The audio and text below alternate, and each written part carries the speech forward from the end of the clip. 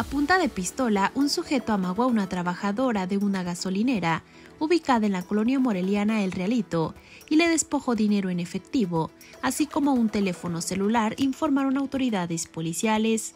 El hecho ocurrió la noche del domingo en la estación de combustible móvil, localizada a la orilla del periférico Pase de la República en el citado asentamiento trascendió que el delincuente se apoderó de 2.450 pesos, producto de las ventas, y un smartphone con valor aproximado de 4.000 pesos.